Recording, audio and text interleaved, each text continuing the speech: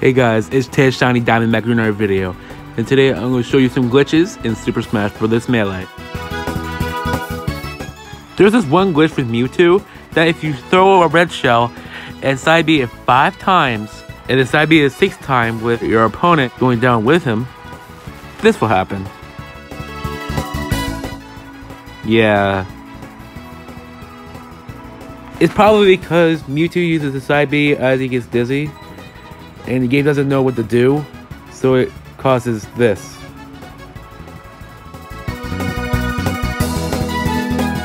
If you use side B again in this state, the opponent will be freed from you.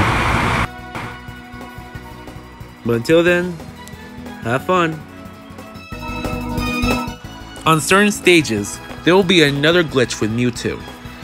Go on one part of the stage on the ledge jump down, jump back up, then side B your opponent who is on the ledge, they will be brought down with you as a result. This probably happens because Mewtwo's confusion normally disables collision for the opponent when they're grabbed by the side B.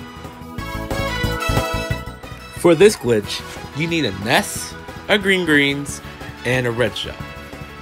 Well, perhaps them. Once you place it down on a bunch on you with your side B, you will then take immense amount of damage and the sound will stop for a brief moment.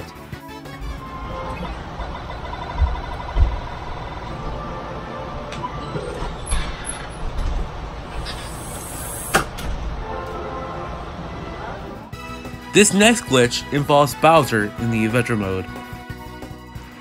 Take Bowser to underneath this bridge and take care of all the enemies on it. Then, when you get on this hill here, down being just the right spot, and then Bowser will get stuck like this. It just looks like he's thinking about a new plan to capture Princess Peach again. Mario Odyssey, anyone? Now he is stuck in this position until you reset. Mario has a interesting a B glitch that allows him to up B twice. Take him to a stage like Yoshi's Story, find a wall, up B to it, and when Mario turns around before doing his free fall animation, try performing the wall jump command. When you get the right frame, Mario will actually wall jump and that allows you to do any move after it. If I say the name entry menu is not that broken, or glitchy, you probably wouldn't believe me. Unless if I show you this.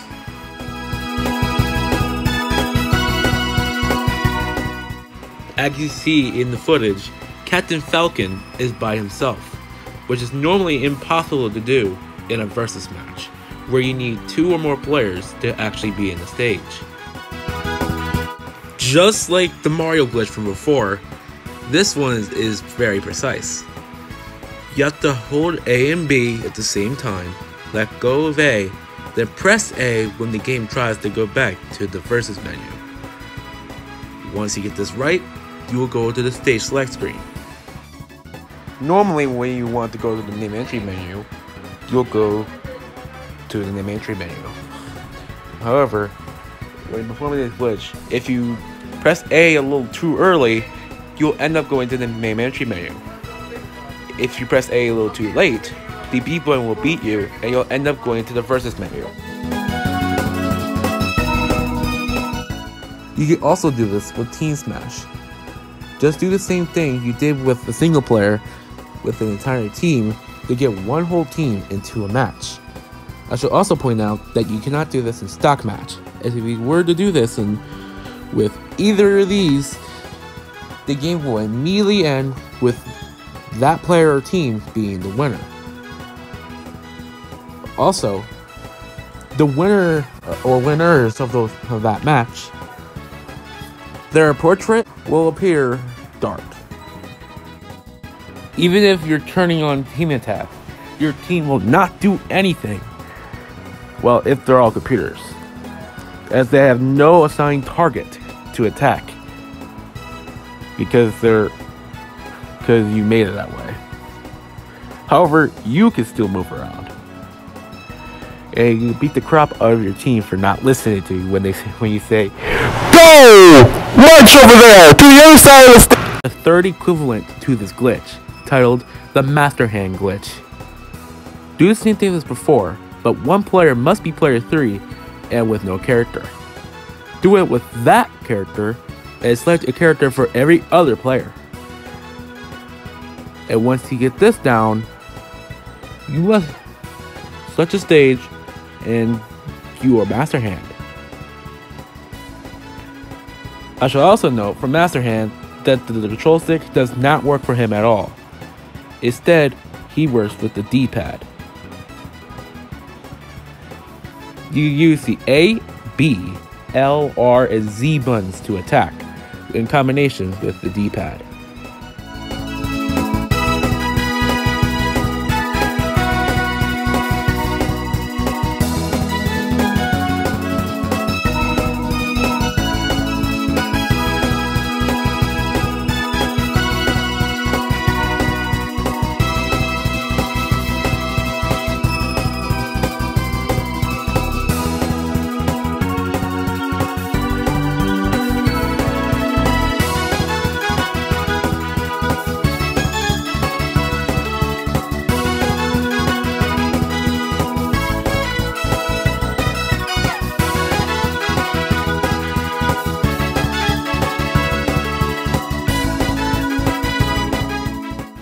Now I will point out that the hand icon position is important for this glitch. Having it in the wrong spot in the game will freeze once you select the stage, like it happened in this instance.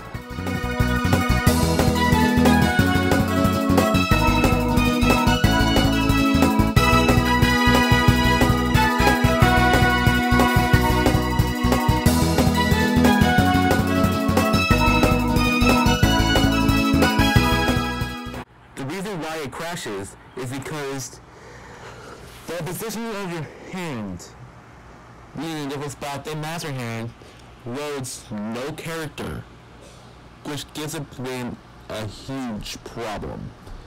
You know why it doesn't have a stock icon, two doesn't have like a emblem in the back. It doesn't have any of those. And those are key to keep the game running. And if those are if those are gone, without the player manually KOing the opponent, it will crash the game. Now, I will also note that winning with Master Hand in a mode that's not stamina mode nor camera mode will automatically crash the game. It crashes because Master Hand does not have a victory animation himself, in which normally the game needs one in order for it to move on. Without one, the game doesn't know what to do and just locks up. For this next one, you need a fox, a falco, a Ness, and a peach. The Ness is not really that important, but if you want what we're about to do to be up in the extreme, choose him for your fourth character. For this one, we're doing both the Infinite Super Scope glitch and the Almighty Black Hole glitch. First off, find a Super Scope with Ness. Make sure you turn them on in items. Or else you're screwed. Next, shoot five pairs, I mean groups of three pellets, and then charge two large ones. And then, during the next one you charge, have someone attack you. Once you do that, check if you have the infinite scope. You would normally have one left if you didn't do this. Now, if than one comes out, you definitely did it. Have both Fox Falcos shine. As in they're down B. And not do what I did here.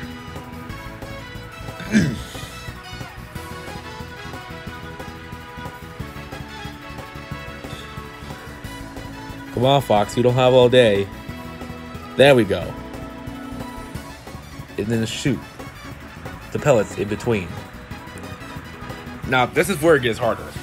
you have to manually use the other controller to jump repeatedly in it with Peach. And if there's no, if you're the only one doing this at home, this will be a struggle, as you're not a Shokan like Mortal Kombat Sheeva, Goro, Montaro, etc.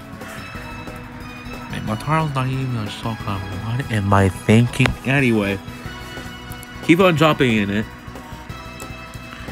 and if you start to hear an annoying noise with this line coming in between the Fox Falcos, you're doing it right.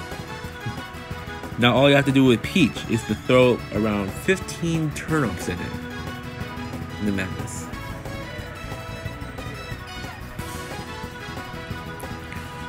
Take your sweet, sweet time, Peach.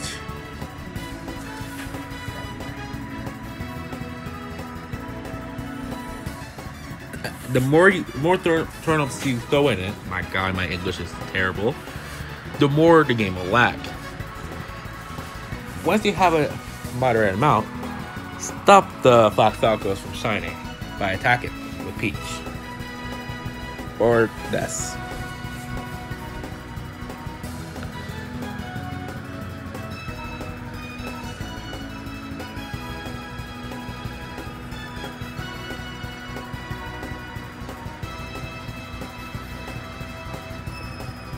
You did it right, this should happen and not box falling on Falco. Now at this point, this is the black hole, and anyone anyone who enters it will earn 999% damage almost instantly. If you use PK Fire with Ness, this should happen.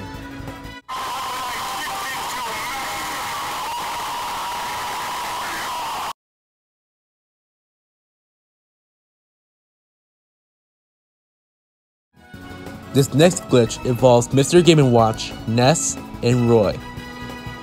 This is for how to make the world Stronger! intact in Melee. You gotta use three PK flashes from Ness and put it into Mr. Game & Watch bucket or down B. After you do that, go up to Roy and then have the Roy counter Mr. Game & Watch's bucket with the three PK flashes in it. By the way, this all has to be done in giant melee to create the ultimate attack. Once you get the right moment to counter. Bye, Felicia. I hope you guys enjoyed this video. If you did, smash that like button, subscribe for more. I'll be back with you for more glitches in the future.